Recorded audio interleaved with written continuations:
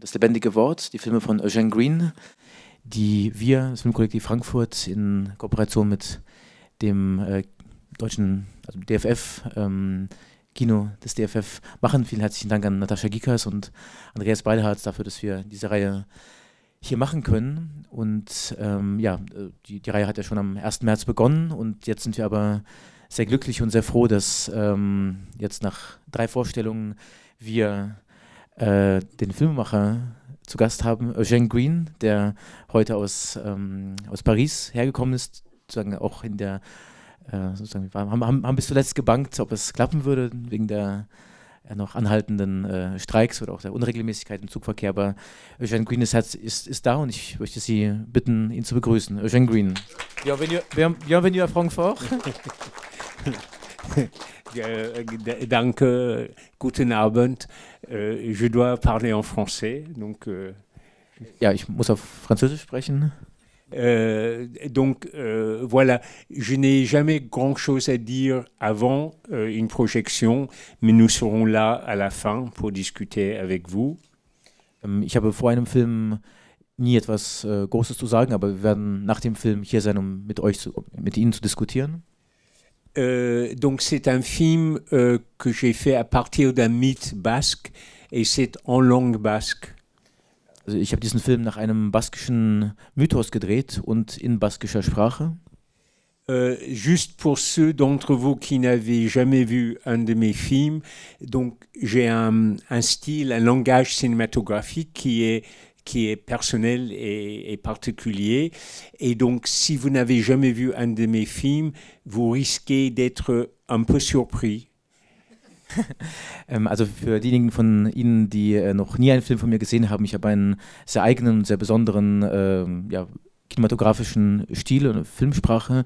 Und äh, für diejenigen von Ihnen, die noch keinen Film von mir gesehen haben, es besteht äh, äh, sozusagen die Möglichkeit, dass Sie erstaunt sein werden. Mais euh, dans ce cas, euh, ne, restez calme, ne paniquez pas, ne quittez pas la salle. Et en général, les gens s'habituent très vite à ce langage. Und ähm, in, in, diesem Fall, wenn Sie erstaunt sein werden, äh, bitte verlassen Sie nicht den Saal und werden Sie nicht unruhig, sondern äh, man sagen, äh, gewöhnt sich äh, an den Stil und äh, ja, normalerweise ist das immer so. Euh, voilà, donc je vous souhaite une bonne projection et nous serons là à la fin. Ja, und ich wünsche Ihnen eine gute Vorführung und wir werden dann nach dem Film wieder hier sein. Merci. Ja, ähm, ich möchte gerne anfangen mit, mit zwei Fragen und dann würde ich äh, ähm, an äh, das Publikum die Diskussion äh, öffnen. Äh, also die Diskussion wird, äh, also oder Eugene Green wird auf Französisch antworten, ich übersetze, aber sozusagen die Fragen haben wir vereinbart, äh, stelle ich auf Deutsch, um zumindest etwas Übersetzungszeit zu sparen. Äh, ja, Eugene, ähm, vielen Dank für diesen ja wirklich äh, ganz besonderen und äh, also ja, als ich ihn zum ersten Mal gesehen hatte, auch sehr bewegenden Film. Ich möchte dich bitten, uns zu erzählen, wie, wie die Idee zu dem Film entstand und wie du das Projekt begonnen. Euh, ça fait très longtemps que je m'intéresse à, la culture basque. J'ai euh, d'ailleurs fait un documentaire qui s'appelle Faire la parole en français sur euh, des jeunes basques et leur rapport à leur langue et leur culture. Et en fait, l'idée de faire ce film est née plus ou moins pendant le tournage de Faire la parole. Je te laisse déjà traduire. Also es ist äh, lange her, dass ich mich für die baskische Kultur interessiere und ich habe einen Dokumentarfilm gedreht, Faire la Parole, den wir am 31. März hier im Kino zeigen. Ähm, und dieser, in diesem Film, äh, diesem Dokumentarfilm Faire la Parole, ähm, geht es um, oder er porträtiert äh, junge baskische Jugendliche, die sich auf die Suche nach ihrer Sprache, nach ihrer Kultur begeben. Und die Idee zu diesem Film entstand mehr oder weniger während der Dreharbeiten zu Faire la Parole. En fait, je me suis aperçu que euh, la mythologie basque, qui est très intéressante et très riche, puisque les Basques, c'est le, c'est le peuple le plus ancien vivant encore en, en Europe et parlant la langue euh, qui est la langue vivante, qui a la plus longue histoire en Europe. Euh, je me suis aperçu que ces jeunes qui étaient très attachés à leur langue et leur culture, mais ils connaissaient mal la mythologie basque. Et au cours, une fois pendant le tournage, euh, pendant un repas, je leur ai raconté l'histoire d'Atarabi et parce que je me suis aperçu qu'ils ne la savaient pas. Je... Ähm, und ich, habe festgestellt, dass, ähm, dass sozusagen die, ähm, die baskische Mythologie sehr interessant und sehr reich ist und dass sozusagen die baskische, äh, also das baskische Volk eines oder das älteste noch in Europa lebende Volk ist, das auch äh, seine eigene Sprache noch spricht. Und ähm, gleichzeitig habe ich mich, aber ich festgestellt äh, während der Dreharbeit zu Faire la Parole, dass diese baskischen Jugendlichen zwar für ihre Sprache sehr entbrennen und, und äh, ihre Sprache sehr wertschätzen, aber die Mythologie ähm, sehr wenig kennen. Und dann habe ich während einer Drehpause habe ich äh, diesen Jugendlichen den Mythos von Atarabi und Mikelac erzählt. Et je me suis rendu compte que cette mytho ce mythe euh, portait une possibilité d'exprimer quelque chose qui pour moi était important, même un, un, certain nombre, un certain nombre de choses. Euh, et donc, euh, j'ai fait ma propre version du mythe, puisque à chaque fois qu'un artiste, euh, comment dire, aborde un mythe, que ce soit un des mythes antiques ou de, de, enfin de notre culture antique gréco-latine ou d'une autre culture, il en fait toujours sa propre version. Et donc, voilà, j'ai fait ce scénario en gardant les principaux éléments du mythe euh, qui, dans toutes les versions qui existent, puisqu'il y a plusieurs versions déjà du mythe. Euh, mais je, l'ai arrangé, je l'ai ordonné de telle sorte que ça puisse exprimer quelque chose de personnel pour moi. Ähm, und ich habe dann festgestellt, dass diese, dieser Mythos von Atalabi und Mikelac ähm, die Möglichkeit mir geben könnte, etwas auszudrücken, was äh, mir interessant schien, was äh, auch eben eine gewisse Anzahl von Dingen beinhaltet, die mich interessiert haben. Und dann habe ich ähm, aus diesem Mythos meine eigene ähm, Vision gemacht. Und das ist ja ähm, jedes Mal so, dass ein, wenn man einen Mythos angeht, ob es ein griechischer Mythos ist oder ein lateinamerikanischer Mythos, dass man daraus eine eigene Vision macht. Und als ich das Drehbuch geschrieben habe, habe ich ähm, die wesentlichen Elemente dieses, dieses Mythos beibehalten. Und von diesem Mythos gibt es viele verschiedene, also einige verschiedene Versionen. Und ich habe aber die wesentlichen Versionen oder die wesentlichen Elemente so arrangiert, dass sie etwas ausdrücken, was ähm, auch mich persönlich, äh, mir persönlich wichtig war. Merci. Ähm, dann ähm, würde mich interessieren, wie, ähm, ja, wie du mit, mit den Schauspielern arbeitest. Ähm, du, du, hast ja am Anfang gesagt, dass äh, es ein äh, sehr, also sozusagen äh, ein sehr eigener Stil ist, was natürlich stimmt. Ich, ich finde, dass äh, deine Filme mit die zugänglichsten und das Publikum ähm, sozusagen ähm, animierendsten sind, die man sich vorstellen kann. Aber ähm, und ich, ein großer Teil dieses Zaubers, der von deinen Filmen ausgeht, ist natürlich auch, hat auch mit, dem, mit den Schauspielern, mit der, mit der Art zu tun, wie die Schauspieler agieren. Ich, könntest du etwas erzählen, wie du speziell in diesem Film mit den Schauspielern gearbeitet hast? Euh, je, je, devais donc choisir des, des acteurs, euh, mais comme ils devaient être bascophones, c'est-à-dire euh, que le basque soit leur langue maternelle ou en tout cas que ce soit des gens qui pratiquent la langue basque régulièrement. Euh, et comme ils devaient être très jeunes, euh, c'était, je savais que je n'allais pas trouver des acteurs professionnels confirmés. D'ailleurs, il y a pas mal de films en langue basque maintenant qui se font, mais en Hegoalde, c'est-à-dire euh, le Pays basque sud, ça veut dire du côté sud, parce que pour les, Basques ne disent jamais le Pays basque espagnol ou français, ils disent le côté nord et le côté sud. Et donc, Hego Alde, c'est le côté sud. Et j'ai rencontré donc des acteurs euh, très confirmés, bascophones, mais qui avaient attrapé, comme pour gagner leur vie, ils devaient travailler aussi en dehors du cinéma basque. Ils faisaient beaucoup de films à Madrid et de séries en Castillon. Et ils avaient attrapé tous les tics des, acteurs qui jouent dans les séries et dans les téléfilms. Et donc, je savais que je ne pouvais pas travailler avec ces Acteurs-là. Je te laisse traduire.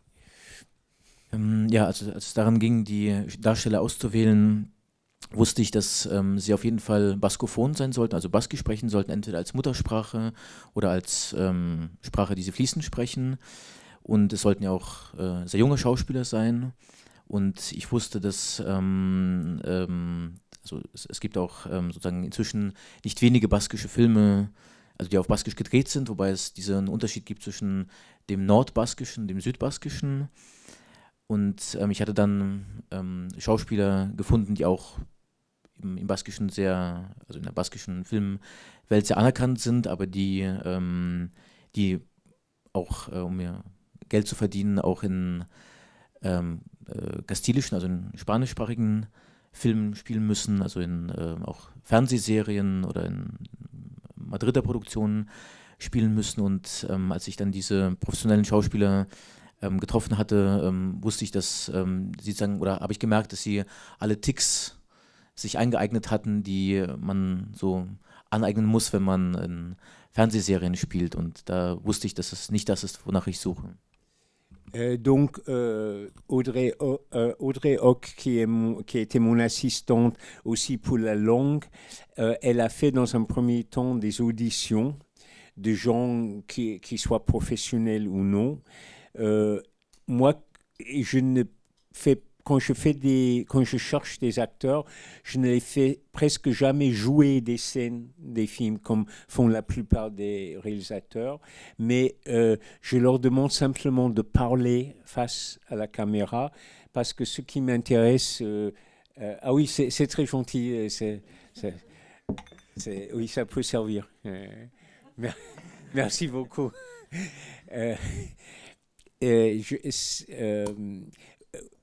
oui, voilà. Et ce qui m'intéresse en fait, c'est l'intériorité de la personne et la capacité de la personne de faire entrer sa propre intériorité dans un personnage, mais dont je lui donne le cadre à la fois par ce qu'il doit dire et par le cadre visuel.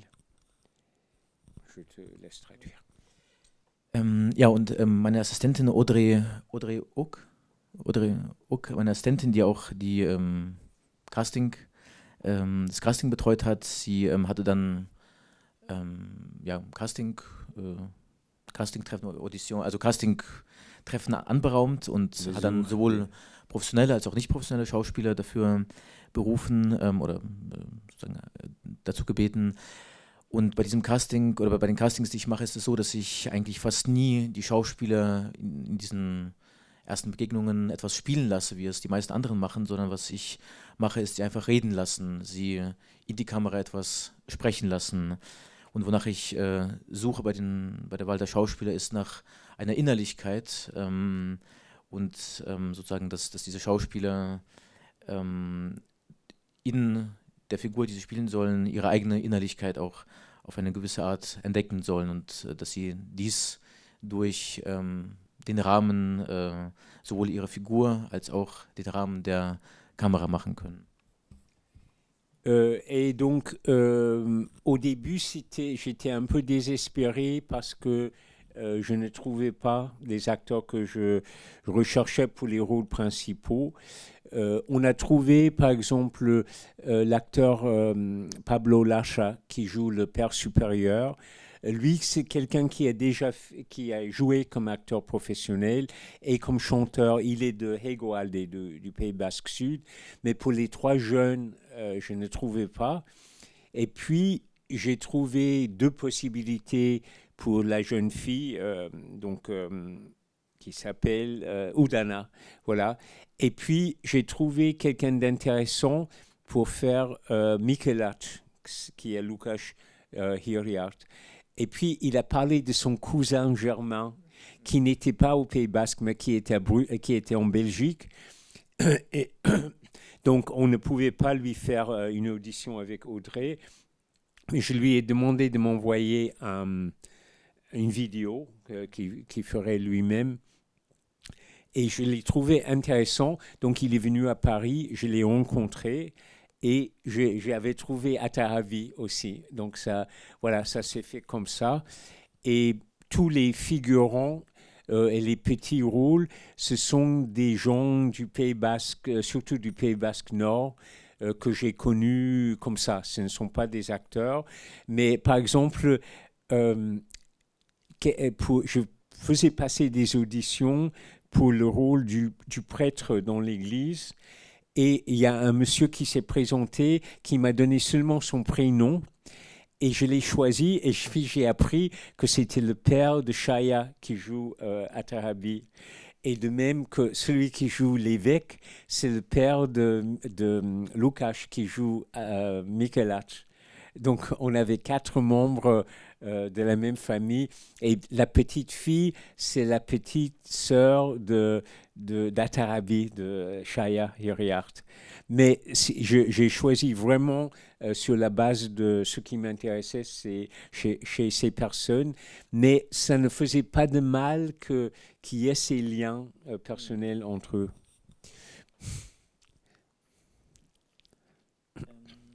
Ja, also ich war am Anfang sehr ähm, verzweifelt, weil ich ähm, keine Schauspieler fand, die, ähm, die, die ich gut fand. Ich hatte dann äh, einen Schauspieler gefunden, der den ähm, ähm, Per Superior, also der den äh, Geistlichen spielt, Pablo Lecce, ähm, ein professioneller Schauspieler. Also den hatte ich gefunden, aber ich musste drei junge Darsteller finden ähm, für, für, die Hauptrollen. Das war die große Schwierigkeit. Dann hatte ich, dann gelang es mir, die ähm, ja, jemanden zu finden für die Rolle der Udana, also der jungen Frau im Film. Und dann gelang es schließlich auch, äh, jemanden zu finden für die Rolle des Mikelac. Und, und er erzählte mir dann von seinem Cousin, der aber nicht im Baskenland äh, lebte, sondern in, in, Belgien und den wir da, daher jetzt nicht, für, eine Casting, ähm, für ein Casting-Treffen ähm, sozusagen erst gewinnen konnten, sondern den ich erst über Video oder über Internet äh, treffen mussten, den ich sozusagen hinreichend interessant fand ähm, und den wir dann nochmal nach Paris eingeladen hatten, als ich wusste, dass er interessant ist und der dann der Atarabi, äh, als Atarabi äh, ausgewählt wurde. Und dann bei der Auswahl der ähm, Nebenrollen, ähm, da war es ähm, so, dass es dann eben Darsteller sind, überwiegend aus dem Baskenland, die, ähm, also aus dem Nord Nord nördlichen Teil des Baskenlands, die ähm, überwiegend eben keine professionellen Schauspieler sind, sondern äh, Laiendarsteller. Und ähm, bei einem Casting-Treffen, in, in, dem es darum ging, den Priester zu besetzen, hatte sich äh, ein Mann vorgestellt, der aber äh, seinen Nachnamen nicht gesagt hat. Und dann hat sich herausgestellt, dass er äh, der Vater ähm, war, c'était le père, äh, de, le prêtre était le père de, ähm, de Atarabi. De, de, Atarabi, also es war dann der Vater des Schauspielers, der für die Rolle des Atarabi ausgewählt wurde. Und bei einem, bei einem anderen Geistlichen äh, hat sich herausgestellt, dass das dann der Vater äh, von Mikelac war. Und, und, und die kleine, das, das kleine Mädchen, das war wiederum die jüngere Schwester von, Atarabi. von Atarabi. Und so, so kam es zu dieser auch sehr familiären Verquickung. Verquickung. Und was ich aber ähm, interessant fand, also ich fand alle äh, diese ähm, Menschen sehr interessant und, ähm, und trotzdem schien es mir, dass es auch nicht verkehrt ist äh, oder dann letztlich nicht verkehrt war, dass sie auch diese persönlichen Verbindungen hatten.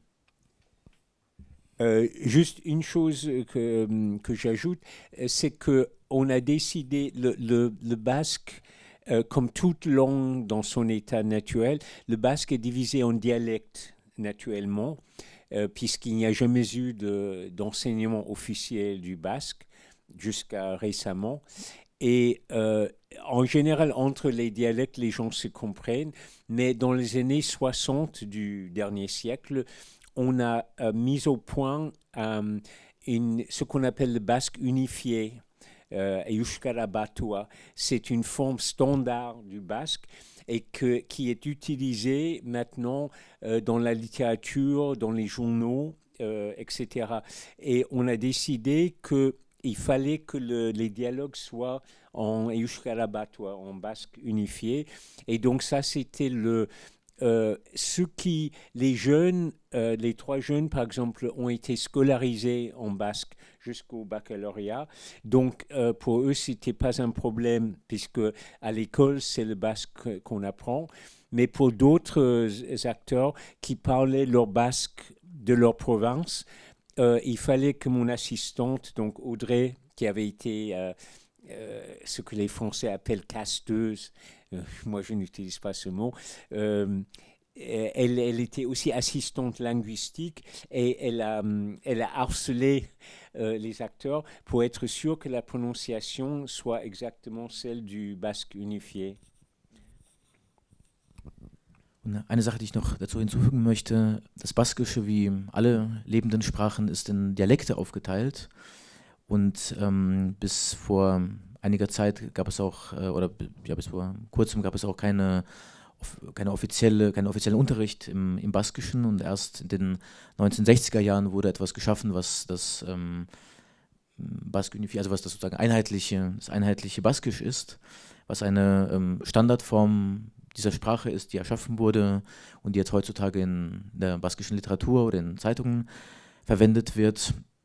Und, ähm, und und wir hatten entschieden, dass äh, diese offizielle Form des Baskischen dann eben die Grundlage für die Dialoge des Films oder für die Sprache des Films sein sollte. Und bei den drei jungen Darstellern, die ähm, das Baskisch in der Schule gelernt haben, die bis zum Abitur Baskisch gelernt haben, was in der Schule Pflicht ist, war es kein Problem. Bei den anderen Darstellern, die aus anderen äh, Teilen des Baskenlandes kamen, in denen man Dialekte spricht, des Baskischen, musste dann meine ähm, Assistentin Audrey, ähm, Audrey Ock, Ock, äh, die nicht nur Assistentin war, sondern auch linguistische Assistentin war, musste sie bei der Aussprache, bei der Vorbereitung dieser Leute auf die Aussprache, musste sie die Dialekte ähm, anpassen an das offizielle Baskische. Das musste noch gemacht werden.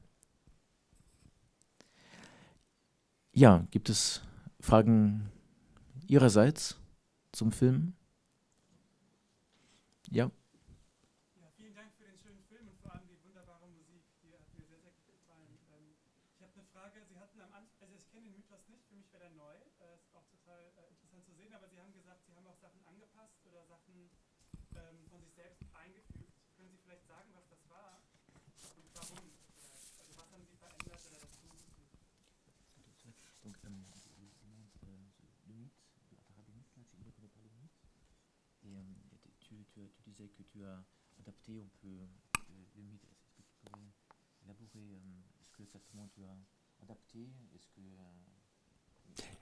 Alors, le, la, la, comme euh, bon, récemment, on a, les Basques sont très contents. On a trouvé un, un objet archéologique, une main en bronze du 3e siècle avant Jésus-Christ, où il y a cinq mots basques écrits avec euh, l'alphabet euh, des Ibères, de, un autre peuple qui habitait la péninsule ibérique.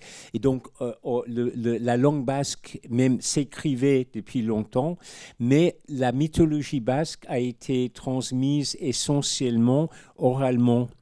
Et donc, comme les Basques ont été d'abord conquis par les Romains, et ensuite christianisé à partir du 4e ou 5e siècle lentement, euh, parce qu'ils avaient donc une autre tradition religieuse qui est, euh, présente euh, dans ces mythes. même leur christianisme est devenu syncrétique, c'est-à-dire qu'elle contient beaucoup d'éléments de l'ancienne religion, et les mythes, par contre, ont été aussi christianisés.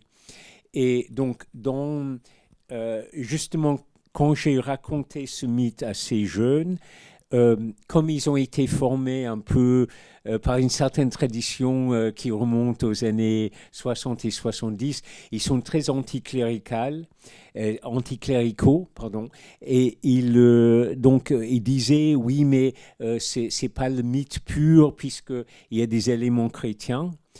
Et donc, effectivement, dans le mythe tel que tel qu'il a été transmis, euh, Atarabi devient prêtre. Pas, il ne rentre pas dans un ordre, mais il devient prêtre. Et c'est, euh, il apprend qu'il ne peut être sauvé que s'il meurt au moment de la consécration. Et donc, euh, il ne se tue pas lui-même, mais il demande au sacristain de le tuer. Et le sacristain, deux fois de suite, il n'arrive pas. Et la troisième fois, avec un bâton, il le tue. Donc ça, c'est un des éléments, par exemple, que j'ai transformé. Parce qu'effectivement, je trouvais que c'est un, très beau mythe sur le conflit entre le, bien et le mal, mais que c'était pas tel que c'était dans cette version-là, c'est un peu lénifiant, c'est un peu euh, euh, sulpicien. Tu, connais ce euh, sulpicien, ça veut dire, ça vient du quartier de Saint-Sulpice où on vendait des, hum, des objets religieux très, hum, très euh, dé- délicieux, enfin très, très mièvres, très voilà. Donc c'était un peu transformé comme ça. Et moi je voulais retrouver quelque chose de la dureté du mythe original, mais euh, quand même, je, je, je voulais garder cet aspect spirituel. Je, je dirais plus, mais je, te laisse traduire déjà. Oui. Ähm, ja, also die, die Basken sind äh, sehr froh und, und äh, sehr stolz, dass vor einiger Zeit ein archäologisches Objekt gefunden wurde, das ähm, aus dem dritten Jahrhundert vor Christus stammt, auf dem fünf baskische Wörter geschrieben sind, ähm, was sozusagen ein Beleg dafür ist, dass die Sprache da schon äh, schriftlich festgehalten wurde. Aber tatsächlich ist es so, dass die meisten äh, Mythen äh, mündlich überliefert wurden. Ähm, und, und die Basken wurden ähm, erst von den Römern ähm, erobert, besetzt, dann, dann äh, wurden sie christianisiert, ab, so peu à peu ab dem 5. Jahrhundert. Und dieses äh, Christentum wurde synkretisch, also es äh, wurden dann, die, die Mythen der Basken wurden dann auch etwas christianisiert und, und angepasst durch diese Entwicklung. Und die, ähm, ja, die jungen Leute, die, die hier im Film sind, die sind sozusagen aufgewachsen im, im, im Geiste der 60er, 70er Jahre, also sehr antiklerikal eingestellt. Ähm, daher gab es dann auch sozusagen bei der Überlieferung, also bei, beim Gespräch über diese Mythen gab es auch verschiedene Ansichten zwischen uns. Aber um konkret äh, zu sagen, also in der Form, in der der Mythos überliefert wurde, ist es so, dass ähm, Atarabi äh, ke- keinem Orden beitritt, sondern äh, Priester wird und äh, dann erfährt, dass er, wenn er erlöst werden will, im Moment der ähm, Konsekra Konsekration, Consécration euh, de la, de la, la hostie, quand les, les hosties sont bénies. oui, also in der, im Mo- Moment der, der Weihe, Weihung, Wandlung, der Moment der Wandlung, Ja. danke, im Moment der Wandlung ähm, getötet äh, werden muss, um erlöst zu werden. Und er bittet dann den, ähm, den Sakristan der, äh, der Kirche, dass er ihn tötet dabei und es gelingt zweimal nicht und dann beim dritten Mal wird er durch einen äh, Keulenschlag getötet. Das ist sozusagen ein äh, Teil des Mythos, den ich äh, nicht übernommen habe im Film. Und was mich interessiert hat an diesem Mythos war eben auch der Gegensatz zwischen dem Guten und dem Bösen. Und ähm, in, in der Form, wie äh, dieser Mythos äh, Zeit lang auch überliefert wurde, hat er für mich etwas Seichtes an, angenommen und ich wollte diesem Mythos wieder seine Härte ähm, zurückgeben. Und Euh, donc les, les éléments qui se trouvent, parce que même euh, dans les traditions orales, il y a plusieurs versions du mythe, mais les éléments qui se trouvent dans toutes les versions et que j'ai gardés, c'est d'une part que euh, et Michelach sont nés de la, de la déesse, la grande déesse basque Marie, qui, donc ça s'écrit sans eux, ça n'a aucun rapport avec la, Vierge Marie, mais euh, donc c'est la grande déesse de la nature basque, puisque la- la- l'ancienne euh, culture basque était matriarcale, c'est- ça fait très plaisir euh, actuellement. Et, donc, euh, elle, mais elle ne voulait pas les élever et elle les donne au diable, donc qui avait une école euh, pour, pour qu'ils qu'ils fassent leur euh, instruction. Donc c'est une sorte de pensionnat chez le diable.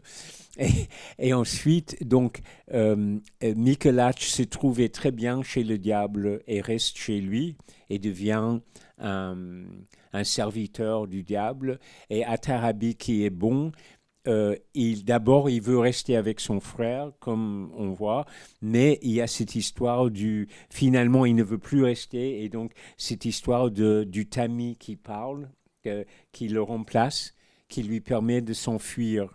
Mais le, le, diable garde son ombre. Ça, c'est dans toutes les versions du mythe. Ensuite, donc leurs chemins se séparent. Dans, donc dans la, version que je n'ai pas prise, Ataribi devient prêtre et moi je l'ai fait plutôt essayer d'entrer dans les ordres, mais qui ne peut pas parce qu'il n'a pas d'ombre. J'ai inventé le personnage d'Udana, donc c'est cette histoire euh, d'amour, et euh, l'histoire de, donc de Michelach qui fait venir, qui demande à sa mère Marie de faire venir un orage pour détruire la récolte, ça c'est dans les mythes. Et le fait que c'est Atarabi donc, qui, euh, qui prie et qui, qui convainc euh, Marie d'éloigner l'orage, ça aussi c'est dans, dans, le mythe.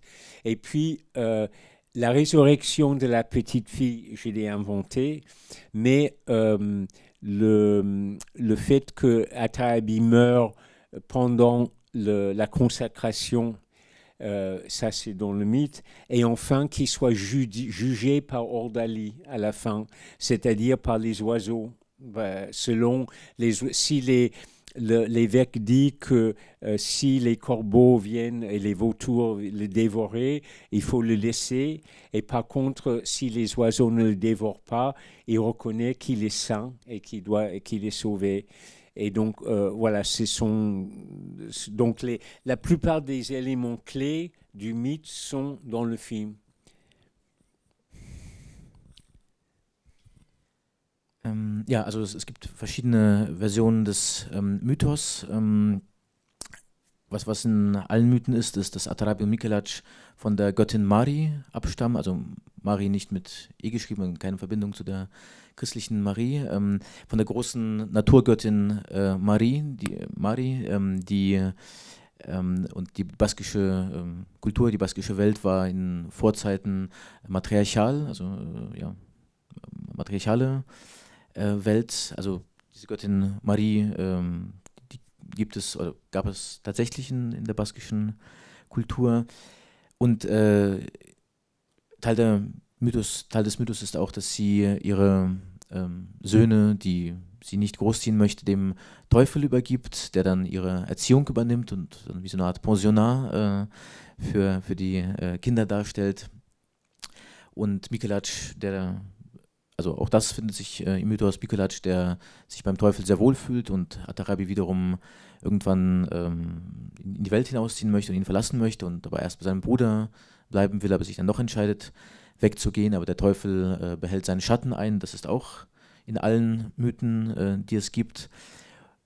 Dann die, eine Abweichung ist, dass ähm, Atarabi ähm, eigentlich äh, eben äh, nicht wie hier einem Orden beitritt, aber nicht angenommen wird, sondern in den Mythen Priester wird. Was ich erfunden habe, ist diese Figur der Udana, des jungen, jungen Mädchens. Das, ähm, also diese Liebesgeschichte, die habe ich erfunden.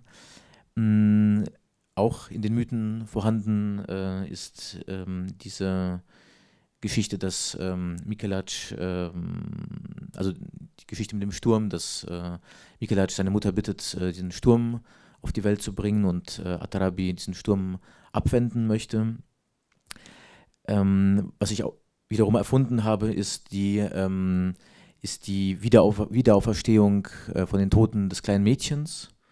Das habe ich auch ähm, erfunden und ähm, ja, und dann diese finale Szene, wenn ähm, Atarabi stirbt und dann dieses Urteil gefällt werden soll, je nachdem, ob die Aasgeier, die auf ihm landen, ob sie ihn aufessen oder anbeißen oder nicht. Ähm, das findet sich auch in den Mythen. Also die, die, die Mehrheit, die Mehrzahl der Hauptelemente, der Schlüsselelemente des Mythos habe ich beibehalten. Ja, gibt es weitere Fragen? Ja?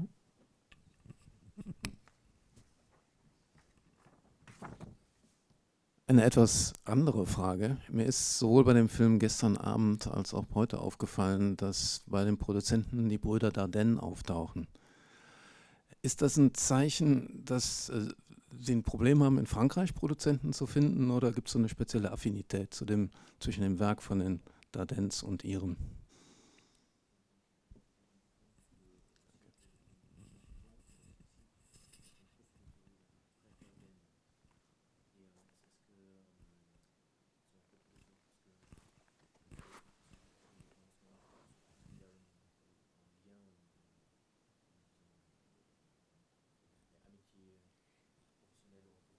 Euh, euh, en fait, ce sont les deux.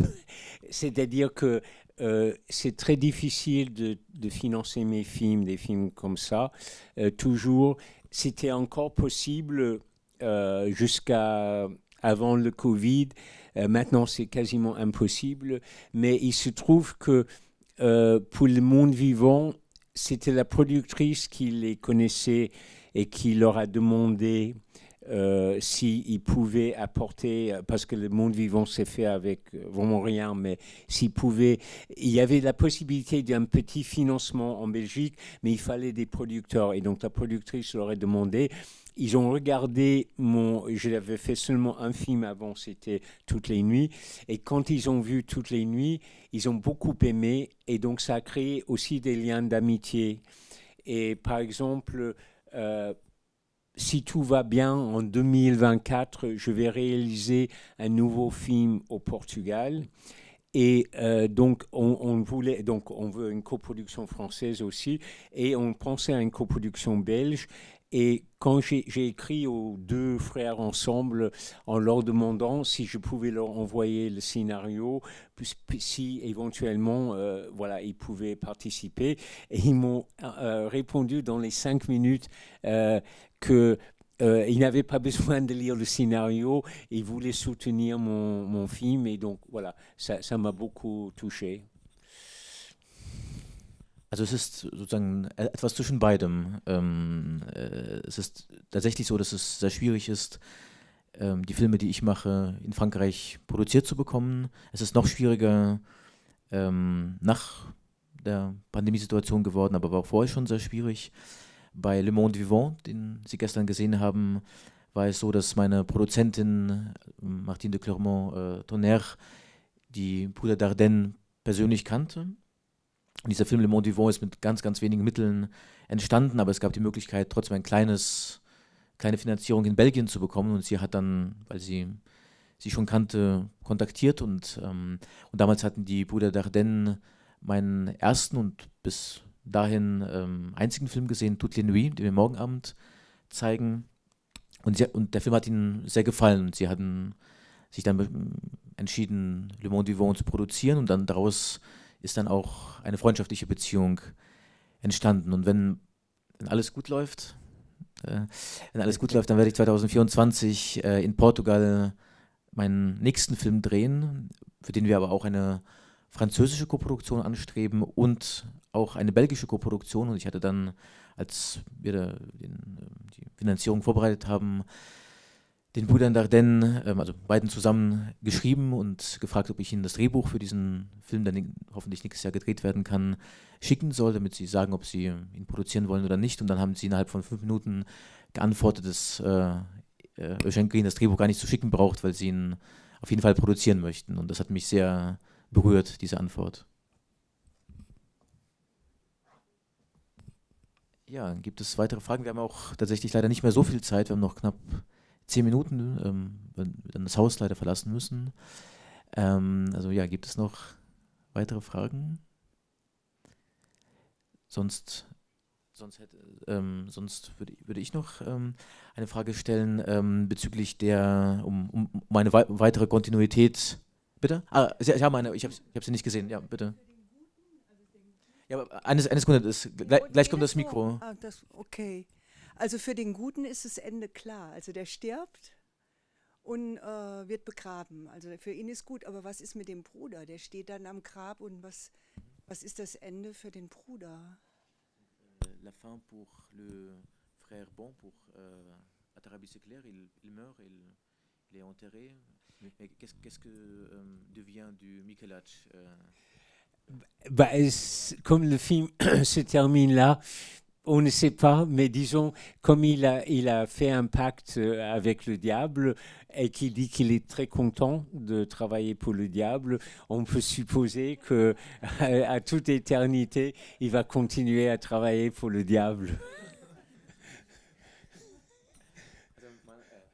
Man, man, weiß es nicht, ähm, aber ähm, weiß nicht, äh, weil der Film da endet, weiß man es nicht, aber, aber da er einen Pakt mit dem Teufel hat und für den Teufel arbeitet, kann man davon ausgehen, dass er noch eine Ewigkeit lang weiter für den Teufel arbeiten wird. Ähm, aber gibt es, äh, est-ce que le mythe raconte euh, Non. Non. non. Le, le mythe s'arrête. S'arrête là. S'arrête là. Also, also der, der Mythos endet auch so. Also der Mythos erzählt auch nicht, wie es mit Michelangelo weitergeht. Mais comme probablement aujourd'hui Mephistopheles est un banquier, peut-être que Michelangelo a remplacé Mephistopheles.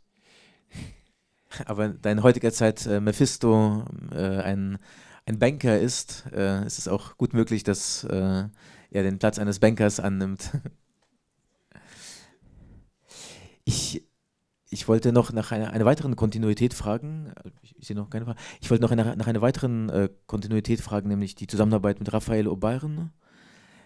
Du hast, glaube ich, alle Filme äh, mit ja. Raphael gedreht. Könntest du etwas erzählen von der Zusammenarbeit mit Raphael, auch speziell bei diesem Film? Oui, alors quand j'ai fait Toutes les nuits, mon premier film, déjà je n'étais plus dans ma première jeunesse et je n'avais jamais le, cinéma, j'avais toujours voulu faire des films depuis l'âge de 16 ans, mais je ne savais pas comment y arriver. Je, faisais du théâtre, mais le cinéma me semblait très loin. Et donc, je, je n'ai jamais fait de, de court métrage ni d'école de cinéma. Et puis j'ai écrit le scénario de Toutes les nuits, un long métrage, et par un miracle qui ne pourrait pas arriver aujourd'hui, j'ai eu ce qu'on appelle l'avance sur recette, qui est un, financement important. Et donc, je devais trouver euh, une équipe. Et donc, j'ai fait passer des auditions, enfin, j'ai rencontré des directeurs de la photographie euh, plutôt jeunes.